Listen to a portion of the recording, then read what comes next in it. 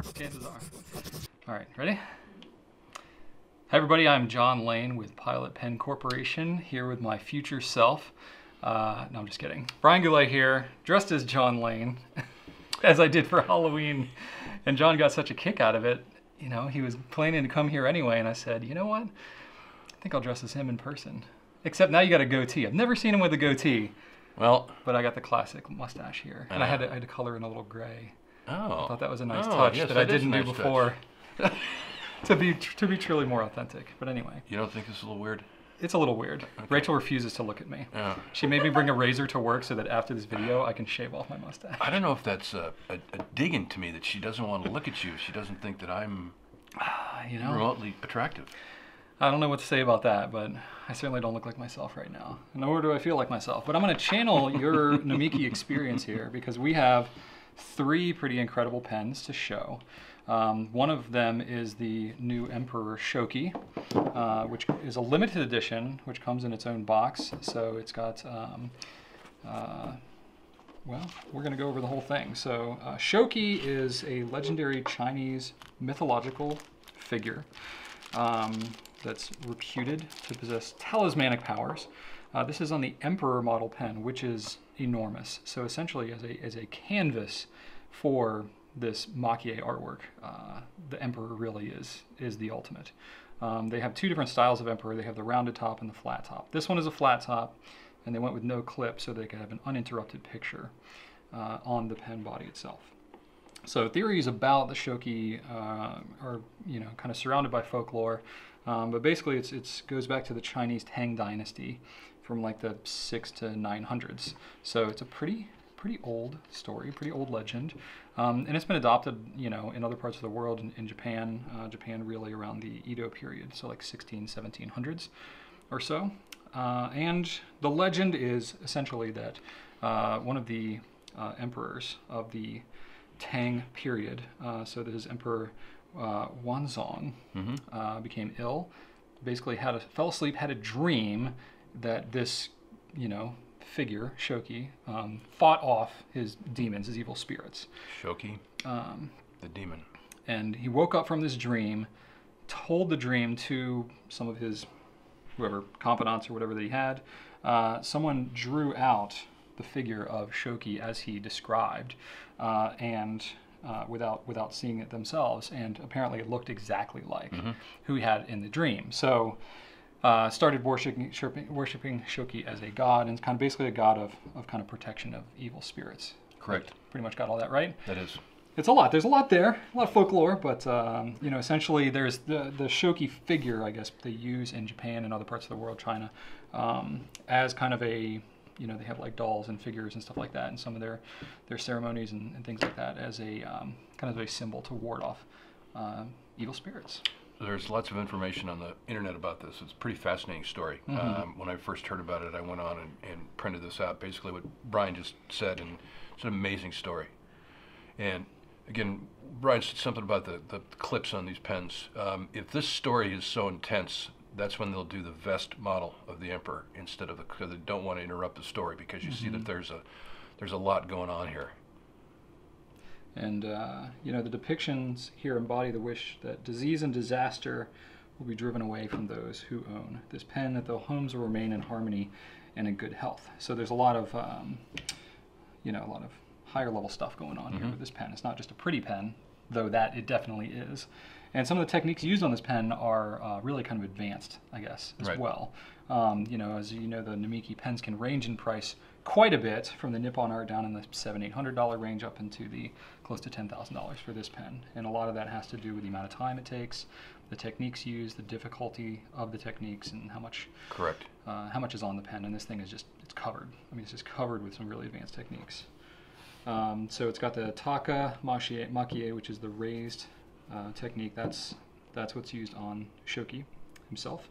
Uh, and then togidashi, which is the burnish makie. That's what you see on like the bamboo accents and things like that. Right. Um, and then the, if I pronounce this right, the shish, shishai, shishai togadashi taka, which is I guess a mixed technique. Close enough. Forgive me for butchering that. um, but I guess it's that's pretty rare to do a combination technique, and it's it's apparently rather difficult. Most of the pens that I've written about, I have not seen that technique being done. So yes, it is pretty rare. So kind of special, yeah. Uh, there's only 99 of these in the world, uh, and we actually have this is number 99 that we're featuring right here. We also have number two in the house if you're interested, um, and there's meaning behind all the numbers.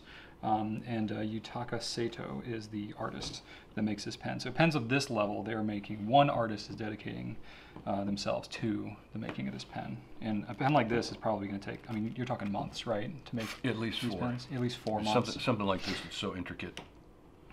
I mean, there's a lot going on there, and and all the raised portions. I mean, that's built up Mhm. one layer at a time with all different lacquer. Mhm. Uh, it's it's pretty incredible.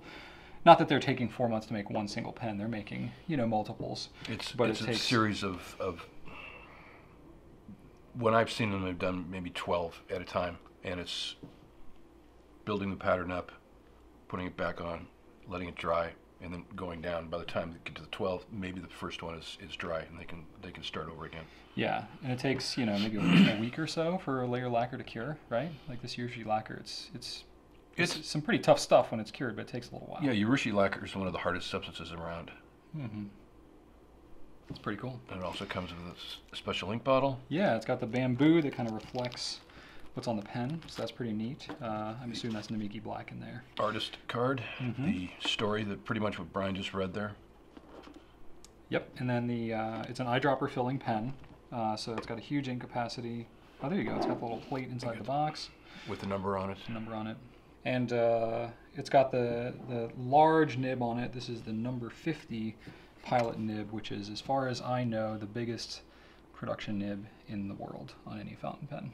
As far as I know, yes. uh, even bigger than like Pelikan M1000 or a Mont Blanc 149. It's pretty dang big, which is amazing. And it's an incredible writer. It's actually a fairly light pen for the size that it is because it's got an ebonite base, ebonite feed um, with Urushi lacquer on the feed. And uh, for those people that I know that have bought these, they ink them up and write Mhm. with them daily. So, uh, you know, despite the fact that it might seem like a priceless heirloom, uh, which that which it is, it's uh, it's definitely a comfortable daily writer. And from what I understand, the artists get just tickled when they know that people are actually inking They these out and carrying them They around. do, and they get even more irritated when they hear that they're not, that they're just put away. Because a lot of collectors will just buy these and open it up, look at it, and put it away. But some real diehards Yeah, um, have asked me how to ink it up, and inking it up is fairly simple. And it actually comes with an eyedropper, if An I'm not eyedropper, mistaken. Not that you couldn't acquire one if you have the means to get this pen. This will take about an eyedropper and a half. So then you hold it upright, put the nib back on, There's a little eyedropper. Ta-da! and then you open up the back end. Which, Which- you, you wouldn't even realize that there is a back end to No. that because it's so seamless in the uh, the fit and finish of that finial. I mean, literally, it's like it just disappears. And then to clean it, a little warm water and just a flush.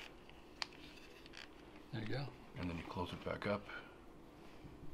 Now, do you need to unscrew it like that to write with it? Yeah, let a little air into the uh, into the barrel. Just a little bit. Okay. Yeah.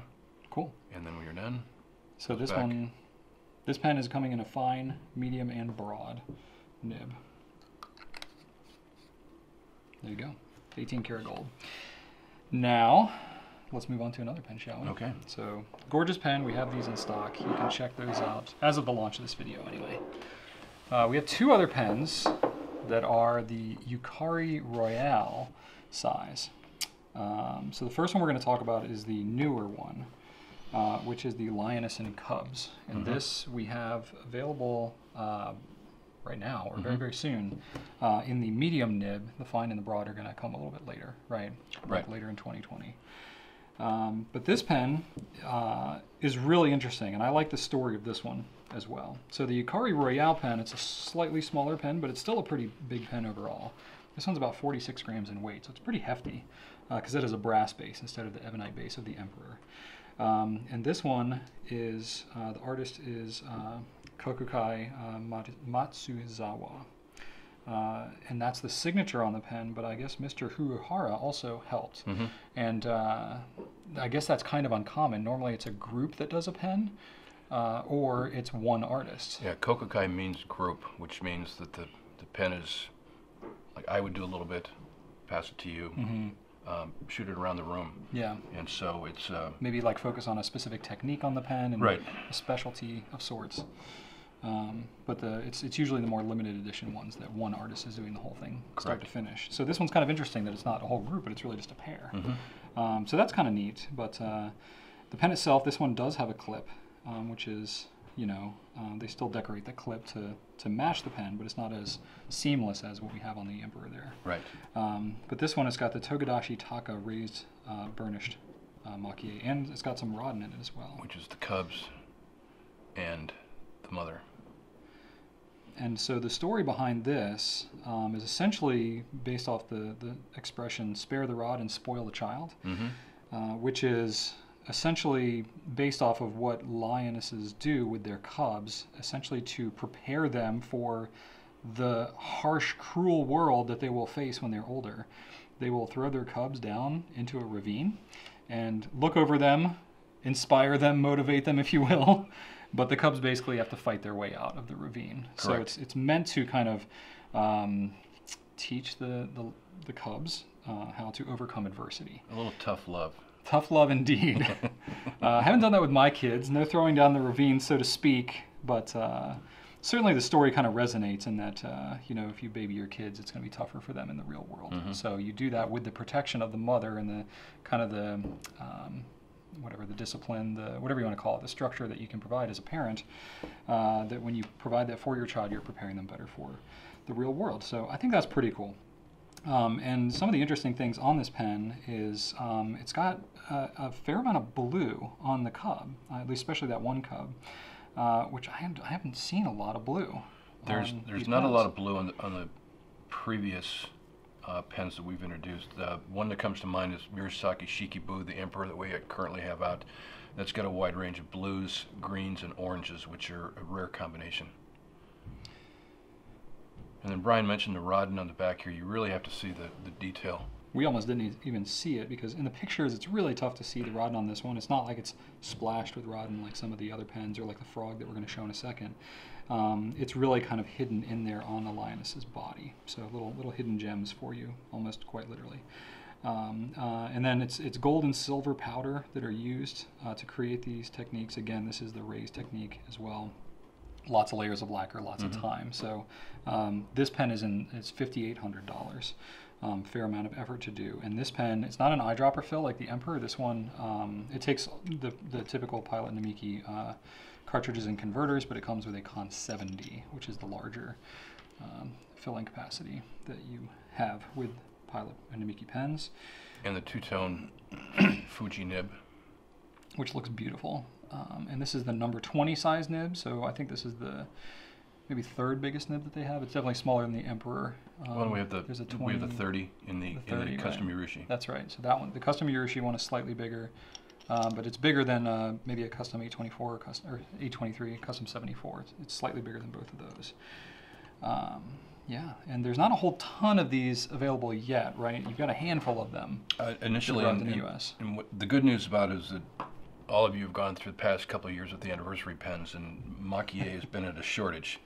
Um, the good news is that these are back in they're in the regular line. The Frog we introduced a year and a half or, or so ago, and I haven't seen one of these in quite a while. So the good news is that monkey Makie production is Seems- starting to catch up. Getting back on track. Yeah. Um, it still probably won't be really back on track until late 2020. But this is really Wow. good news that we've got a we've got a new addition to the Yukari line, Yukari Royale line, and the Frog is back, which I think is one of the one of the cooler pens that we've done. Yeah, so let's talk about the frog because we have one right here. Um, so this is done by artist Yumi Hayashi, and this is um, a Togidashi Taka uh, makie as well as Raden. This one, the Raden, is a little more prominent. Mhm. Uh, I know everyone around here freaks out with Raden, myself included. So whenever you can see that very prominently, that's always appealing. Um, and this one is kind of packed with meaning as well. You know, it's got frogs, leaves, water, kind of a variety of flowers. The flowers are in various states of bloom to kind of represent the passage of time. Um, and frogs have significant meaning, um, especially in, in, I believe, in the Japanese culture. Um, Mhm. so it's protection of travelers um, and hospitality, because I guess frogs, when they, um, you know, after they finish their hibernation, they go back to wherever it was that they were born to reproduce. So as far away as they've gone, they will travel all that way back to get back home. So there's a lot of kind of traveling and home hospitality, that kind of thing, themed in there with frogs. Um, also, there's meaning of kind of fertility because they lay just a boatload of eggs uh, in one sitting when they do reproduce. Um, it's also a symbol of wealth because um, it was actually the, I guess, sort of the symbol or the logo that the feudal tax collectors would use back in the day. Um, so a symbol of kind of some prosperity there. Um, and it's also a symbol for resurrection and metamorphosis, kind of the transformation of man because of the, the process that frogs go through. You see lily pads, which frogs are kind of synonymous with. And there's a lot of those in Yeah. Japan as well. Um, this is the pen wise, you know, the body and all that is going to be the same as Lioness and Cubs. It's that Yukari Royale brass barrel, so same weight and everything, same number 20 size nib, fine, medium, and broad on this one as well. 18 karat gold, Mhm. Con 70 converter. So these are going to be great daily riders as well. Personally, I like, I actually like the size of the Yukari Royale. I think the best of any of the Miki pens. It's very comfortable for me. I have slightly larger hands. The, the higher weight is good. It posts well. Um, it's got like a felt lining on the inside of the cap. You know, it's you're always a little nervous. You think you're gonna like scratch these Right. pens, even though it's the most durable lacquer basically that you can get in the world. Um, but still, the artist has spent a lot of time on these pens, so Yeah, you, you don't want to scratch it. You won't scratch Urushi lacquer by putting on a cap. It, Yeah. If you drop it, it will break. But yeah, you don't want to no, run over this with your car. No. But uh, you know, certainly for just daily use, they're going to be quite durable, uh, even as delicate as they may appear to be in their design. So yeah, these are gorgeous pens. I mean, the more that I'm learning and more that I'm getting to see these Namiki pens coming out, the the more I appreciate all that goes into them. Um, and certainly the theming and the stories behind them. We got three very very strong pens Mhm. here in that respect. So there you have it. Um, you can learn more about these on gouletpens.com or at the next show that you go to. You can go up to John and say, Hey, John, I saw you in that Goulet video. I have a story to tell you a little later on about the, the latest the latest one. John and I have kind of a running thing because he, he uh, was sportively but reluctantly started doing these videos with us back in 2016. Uh, and you've been in a number of them now. yes, I have. You're starting to get your own little fan following when you go to some of these events. He doesn't do a lot of events, but he'll do some every now and then. Yeah. And you're starting to get requests for selfies and other things like that. So a little taste of fame there. Even though he's been in the industry for however many decades, Yeah. um, you're now starting to get publicly recognized. so he loves it when that happens, and he texts me whenever it does. yeah. With one particular emoji, I text him. Anyway, we hope you enjoyed this video. Uh, be sure to leave some comments. Let us know what you think. Reach out to our team if you have any questions about these. Mom said to say hi, by the way. Thanks.